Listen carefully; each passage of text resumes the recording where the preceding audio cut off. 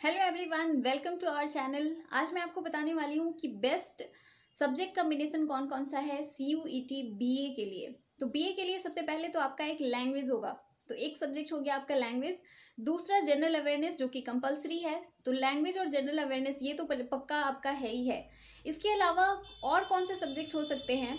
तो आप अगर दिल्ली यूनिवर्सिटी टारगेट कर रहे हो या और भी यूनिवर्सिटीज़ टारगेट कर रहे हो तो आपका जो ट्वेल्थ के सब्जेक्ट हैं जो भी आपने ट्वेल्थ में लिया है उन सब्जेक्ट्स को ज़रूर शामिल कीजिएगा। अगर आप साइंस से हैं तो फिजिक्स केमिस्ट्री मैथ्स या फिर फिजिक्स केमिस्ट्री बायो अगर आप कॉमर्स के हैं तो आपको बिज़नेस स्टडी इकोनॉमिक्स या आ, जो भी कॉमर्स के सब्जेक्ट हैं वो सिलेक्ट करने पड़ेंगे।